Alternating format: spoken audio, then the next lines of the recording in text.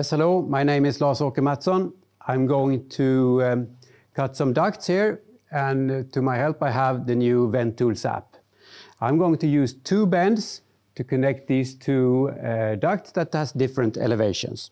And in order to measure the difference in elevation, I can use any kind of straight thing that you have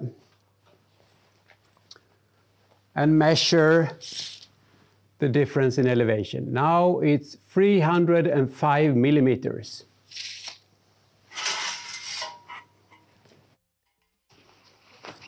I will go to my vent tools app.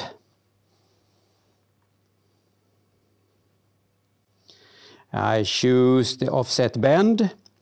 I choose uh, center line offset 305 millimeters. I have a product called BU 45 degrees. And then it shows me that I should cut this duct 299 millimeters. So let's do that. Let's cut the duct. Adjust the length, 299 millimeters.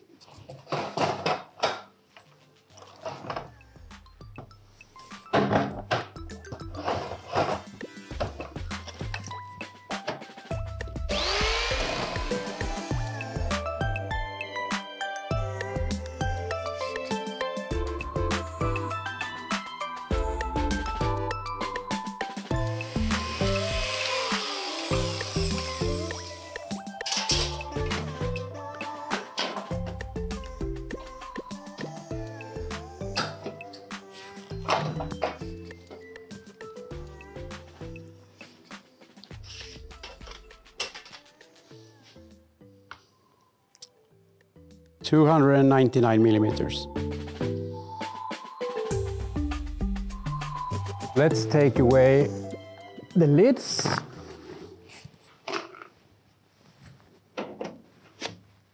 Duct.